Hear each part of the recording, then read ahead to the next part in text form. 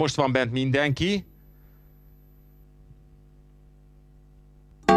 és start elindult, tehát 2015-ben az a remédi húhú nagyon-nagyon kitört Nokle patat gyakorlatilag a pálya szélére, és hát az minden bizonyal a versenyébe kerül majd. A többiekkel viszont nincsen probléma, bírónok ez nagyon jó, Stefáni és ott van Ásító, Ina, Szalsza, Adél, ott egymás hegyén hátán két-három oszon belül, és így egészen a pálya szélső oldalára, külső barrier sodrott Nokle pata méghozzá jó néhány hosszas hátrányban, amikor lassan-lassan 300 métert megtett most már a mezőny, és mint hogyha bírónő még valamivel előrébb járna a többiekhez képest. Bírónő mögött ott van Ásító, Inas, illetve Szalsza, félossza mögöttük következik Adér, és egyelőre Stefáni is meg próbálja legalábbis tartani a lépést a favoritokkal. Úgy tűnik, hogy most már azért kezd egyre inkább lemaradozni 3-4-5 hosszal tőlük. Jön most már az utolsó 500 méter, és jön a favorit Adél. Adél Fézer Robert könnyedén veszi át most már talán és Bírónótól, illetve a belül támadó Szalszától meglepetés Ásító, és csak a negyedik helyen, amikor 300 méter van még hátra. Adél vezet mögötte Szalsza, Bírónő, Ásító, Inas. Adél próbál távolodni, és tud is távolodni a többiektől. Adél fogja megnyerni a reménydíjat Fézer Robert méghozzá nagyon-nagyon magabiztosan.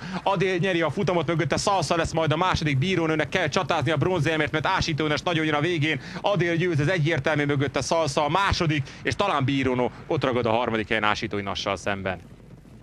Adél élete második futására, második győzelmét zsebelte be Fézer Robertel, aki már 16-nál jár ezzel a sikerrel, második lett ugye a kikentrézésnél rakoncát rankodó Szalsza, ő is nagyon jó esély volt, győzelem után futott, és bírónő volt ugye a, a úgymond sötét lova ennek a futamnak, és egy nagyon jó harmadik lett. Ásító Inasnál meg a mélypálya. Könnyen lehet, hogy Hát lehet, hogy elég nehezen tudta ugye igazán elindítani Linek, utolsó százon azért megindulni látszott,